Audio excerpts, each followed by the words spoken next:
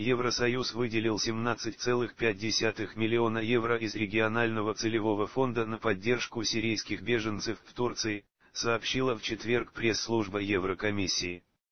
Средства предназначены для 240 тысяч сирийских беженцев, большинство из которых дети, что открывает им возможности для школьного образования и продовольственного обеспечения. По данным ООН, общее число жертв конфликта в Сирии превысило 12 тысяч человек, около 230 тысяч стали беженцами, около миллиона человек нуждаются в гуманитарной помощи. В Сирии с марта 2011 года продолжается вооруженный конфликт, в результате которого, по данным ООН, погибли более 220 тысяч человек.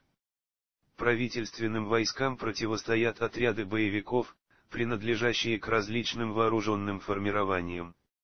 Наиболее активными являются боевики ИГА и Джабхат ан-Нусра.